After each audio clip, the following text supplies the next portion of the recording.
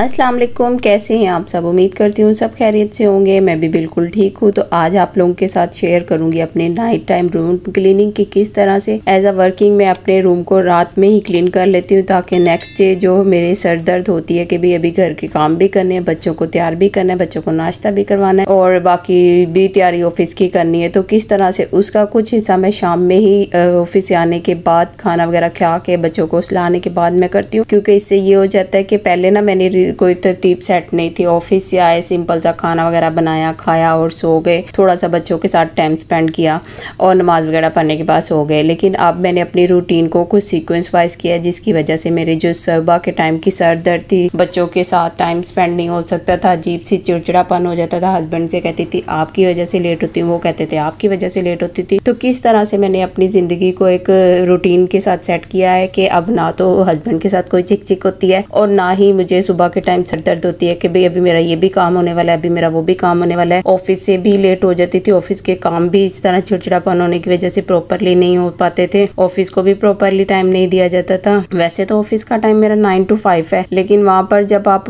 अपनी best performance नहीं दे सकते, आप सर दर्द की वजह से हर टाइम लेजी लेजीनेस फ्रीज करते हैं तो वो चीज़ आपकी जॉब पर भी इफ़ेक्ट करती है। तो यहाँ पे इसलिए मैंने कहा, चले, मैंने जो अपनी लाइफ में रूटीन्स को शामिल किया, जिनकी वजह से मेरी लाइफ काफ़ी आसान हो गई है तो आज की वीडियो में साथ आप लोगों के मैं कुछ रूटीन शेयर करती हूँ और क्या क्या मैंने रूल्स अपनी लाइफ पे फॉलो किए हैं कि जिनकी वजह से अब ये टेंशन जो है वो काफ़ी हद तक मेरी, काफ़ी हद तक नहीं ऑलमोस्ट सारी ही फिनिश हो चुकी हैं। तो आज मैं आप लोगों के साथ वही शेयर करती हूँ। तो यहाँ पर मैंने ऑफ़िस से आकर फ्रूट वगैरह वापसी पे लेते हुए आते हैं। तो वहाँ पर उनको आके मैंने सबसे पहले वॉश किया क्योंकि मेरे बच्चे फ्रूट के शिदाई हैं। उन्हें बस फ्रूट नज़र आ जाए, फिर वो वेट नहीं करते कि इसको ठंडा किया जाए या नहीं। तो इसलिए आते साथ मैंने इसको सबसे पहले ना फ्रूट को वॉश कर लिया था और उसके बाद साथ ही हम दूध वगैरह ले आते हैं और फिर इसको दूध को भी मैंने ना फ़ौरन ही बॉईल कर लिया था। जितनी देर में मेरे ये काम हुए थे, असर की नमाज़ वगैरह पढ़ ली थी और नमाज़ पढ़ने के बाद ना मेरी आजकल हुई है वॉशिंग मशीन ख़राब, जिसकी वजह से हाथ से कपड़े धोने पड़ते हैं। तो मेरी यही कोशिश होती है अल्टीनियस डेज़ या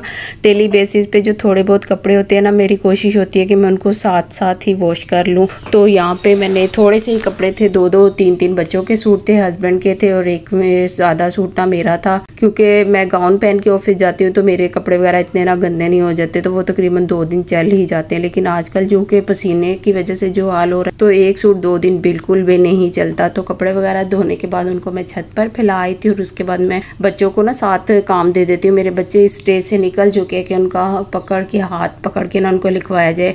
एक बच्चा मेरा प्ले ग्रुप में है और एक नर्सरी में है मेरी बेटी, लेकिन उनको इतनी रवानगी उनके हाथों में है कि वो अपने काम ना खुद कर लेते हैं। तो फिर मैं साथ ही बच्चों को ना उनको जो होमवर्क तो उनका समर वेकेशन जो वर्क था वो तो कंप्लीट हो चुका है। लेकिन जो बाकी उनकी पेपर्स की तैयारी वगैरह करवा रही हूँ तो मैं ना फिर उनको लिख कर दे डोर्स लगा देती थी कि चलें भाई आप लोग करते रहे। तो वो दोनों बहन भाई बैठे हुए अपना काम कर रहे थे। तब तक किचन में जो खाना पीने वाले काम थे वो मैंने साथ ही कर लिए थे। वो रूटीन मैं आप लोगों के साथ ना अलहदा शेयर करूँगी कि किचन के काम को मैं किस तरह से करती हूँ। और आजकल ये जो बच्चों की टिक टिक वाला खिलौना किस किस ने लेकर दिया है, मेरे बच्चों ने तो जिद कर कर लिया है तो मैंने कहा चलें। ये भी, जो ट्रेंड चलता है, बच्चे उसको ही फॉलो करते हैं तो ये आप लोग माँ बाप पे डिपेंड करता है कि ना उसने बच्चों को किस रूटीन से लेके चलना। लगी ये क्योंकि ये चीज़ एक फिजिकली एक्टिविटी में आ जाती थी तो इसलिए मैंने ये बच्चों को ले दिया, क्योंकि बच्चों का स्क्रीन टाइम बहुत ही ज़्यादा हो जाता है तो उनको स्क्रीन टाइम को कम करने के लिए कोशिश करनी चाहिए कि इस तरह की एक्टिविटीज़ में अगर वो मुलविस होते हैं तो उनको होने दिया जाए। तो बच्चों ने पढ़ने के बाद, खाना वगैरह खाने के बाद वो नीचे चले गए थे अपनी दादों के कमरे में। तो मैंने कहा, चलें, जब तक वो नीचे है, मैं ज़रा इस कोने की सफ़ाई कर लूँ। इस कोने को अगर साफ़ कर लूँ ना तो मेरा रूम ऐसे हो जाता है कि जैसे ना सारा कुछ क्लीन हो चुका है। तो यहाँ पे बच्चों की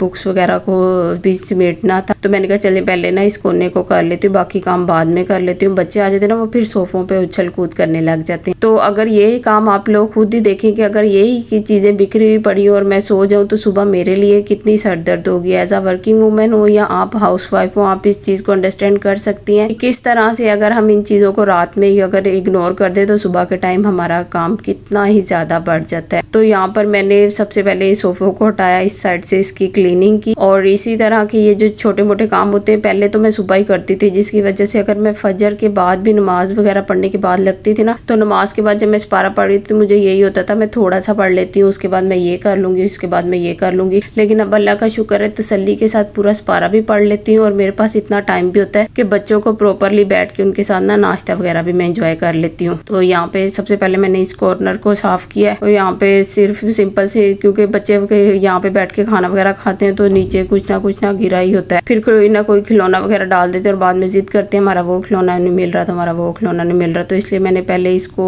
सेट किया, क्यों इस कोने को सेट किया और यहाँ पर ये देखें, ये कम्प्लीटली ना ये कॉर्नर सेट हो चुका है और काफ़ी हद तक मेरा ये आपसे ये काम जो है वो ख़त्म हो चुका है। उस कॉर्नर को साफ़ करने के बाद मैं इस वाले कोने में आ गई एक एक चीज़ को मैं तरतीब के साथ जब साफ़ कर रही होती ना तो ये ऑलमोस्ट चीज़ें जल्दी मेरे से साफ़ हो जाती हैं। और यहाँ पर बच्चों ने पढ़ाई के बाद बुक्स भी यहाँ पर छोड़ दी थी तो मैंने उनको भी इनको अरेंज वगैरह किया, लेकिन ना इन चीज़ों को बैग में रखने से पहले मैं इनको, जो मेरे, ने इनको नेक्स्ट डे काम करवाना होता है ना, उसके भी मैं तैयारी साथ ही कर लेती हूँ, ताकि कल जब मैं ऑफ़िस से वापस आऊँ ना तो मेरा जो काम इनको देने वाला है, वो जितने भी इनके बुक्स पे डॉट्स वगैरह लेने, लगाने हैं कि मैं मैंने ये कहूँ कि ये वाला काम अब कर लो, मैं वहाँ पर बैठ के डॉट्स लगा के पाँच दस मिनट इस पर भी ज़ाया करूँ। तो जब मैं इनकी बुक्स को बैग में रख रही होती तभी मैंने साथ साथ नेक्स्ट डे मैंने इनको काम करवाना होता है, वो भी कर लेती हूँ। एक समझदार खतून की यही निशानी होती है कि वो आने वाले वक्त को प्लान करके चलती हैं। ये नहीं कि आप एंड टाइम पर प्लान करो। ये मेरी जो मैंने पहले गलतियाँ की थी, मैं आपको उन्हीं गलतियों का बता रही हूँ कि मैं पहले एंड टाइम पे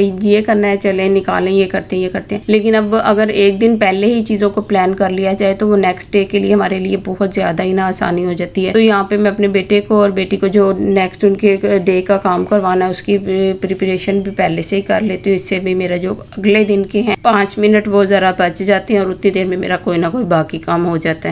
बुक्स वगैरह को जगह पर रखने के बाद जो मेरा नेक्स्ट डे का टारगेट होता है, अगर मैंने बेडशीट वगैरह चेंज करनी हो तो वो भी मैं निकाल लेती हूँ। और यहाँ पर जो मैंने नेक्स्ट डे बच्चों को कपड़े वगैरह पहनाने हैं, वो भी मैंने निकाल लिए हैं, क्योंकि मुझे बच्चों के ना डबल कपड़ों को करना होता है। एक तो सुबह उनको तैयार करने के जाना होता है, और फिर सेकेंड टाइम में जो उन्होंने जाना होता है, सिपारा पढ़ने उसके लिए जो उनके कपड़ों वगैरह की तैयारी है, वो भी मैं रात में ही कर लेती हूँ। इससे मुझे ना काफ़ी आसानी हो जाती है कि सुबह के टाइम मैंने जिस तरह बताया ना, कि काफ़ी टाइम थे जो मैं सुबह के काम थे, मैं जो सुबह के टाइम करती थी, लेकिन उसकी वजह से मुझे सुबह में बहुत ज़्यादा तंग होती तो कपड़ों वगैरह को भी मैंने ना शाम में निकाल लिया और फिर बच्चों को भी यहाँ पे मैंने सोने की तैयारी करवा दी थी। लेकिन ये जो क्लीनिंग वगैरह, ये मैं बच्चों को सोने के बाद कर रही इस तरह ये हो जाता है कि उन्होंने जो भी चीज़ वगैरह खानी हो, कुछ भी खाया, पिया हो, जितना भी गंद वगैरह ना वो पहले ही नीचे गिर जाए, क्योंकि बच्चों के जागते हुए मैं झाड़ू करूँ तो सुबह वो ऑलमोस्ट फिर ना कुछ ना कुछ खा के नीचे गिरा देते हैं। तो इसलिए मेरी कोशिश होती है कि ये जो क्लीनिंग का काम है, ये उनको मैं सुलाने के बाद करूँ और यहाँ पे बच्चों को मैंने सुला दिया तो उसके बाद ही ना ये मैंने झाड़ू वगैरह और पोछा वगैरह वो जो मैं फेर रही हूँ, वो मैं फेरती हूँ। इस तरह मेरे, इतना मेरे, मैं आप कहती हूँ, आप यकीन करें, आप अगले दिन की प्लानिंग अगर पहले दिन से ही करके तैयारी कर लेंगी ना तो आप लोगों की लाइफ बहुत ज़्यादा आसान हो जाएगी। ये रूल्स ना सिर्फ़ वर्किंग वुमेंस के लिए हाउस भी इसको अप्लाई कर सकती हैं। आप नेक्स्ट डे की तैयारी के नेक्स्ट डे भी हमने ये, सिर्फ़ ये नहीं कि हमने बच्चों को ही तैयार करना है। कुछ मदर्स के बच्चे बड़े भी होते हैं, लेकिन वो फिर भी परेशान हो रही होती है कि हमारे पास टाइम कम है टाइम कम है। एक तो आप नेक्स्ट डे की तैयारी अगर रात में ही कर ले तो हमारा नेक्स्ट डे मॉर्निंग में भी हमारे पास बहुत ज़्यादा टाइम होता है। और दूसरी, आप कोशिश किया करें कि अर्ली मॉर्निंग उठ जाए। अर्ली मॉर्निंग उठने के क्या फ़ायदे हैं, वो भी आप लोगों के साथ नेक्स्ट किसी वीडियो में शेयर करूँगी। और इसके अलावा किचन में मेरी क्या रूटीन होती है किचन के कामों को मैं किस तरह से, वो जो जो काम है, उनको मैं फॉलो करती हूँ ताकि मेरे जो नेक्स्ट डे है, वो मेरा आसानी से गुजर जाए, वो भी आप लोगों के साथ ना जल्द शेयर करूँगी। फिर लास्ट पे मैंने बेडशीट चेंज कर ली थी। अब आप लोग सोच रहे होंगे कि ये बेडशीट अभी चेंज करी है तो इनके बच्चे कहाँ हैं? तो बच्चे जी, हमारे नीचे वाले पोर्शन में एसी वगैरह लगा हुआ है क्योंकि आप लोगों को पता है इतनी गर्मी में कितना मसला होता है। तो बच्चे जी, आजकल सो रहे हैं नीचे वाले पोर्शन में, जिसकी वजह से ये काम भी मेरा काफ़ी आसान हो गया है। तो अगर बच्चे ऊपर भी हो ना तो मैं बेड वाला काम छोड़ के बाकी सारा कोशिश करती हूँ कि ये रात में मैं कंप्लीट कर लूँ। और यहाँ पर देखे रूम कितना नीट एंड क्लीन लग रहा है। होप सो वीडियो अच्छी लगी होगी, अच्छी लगी है तो वीडियो को लाइक करें शेयर करें चैनल को सब्सक्राइब सब्सक्राइब करें। थैंक्स फॉर वॉचिंग दुआ में याद रखिएगा। अल्लाह हाफिज़।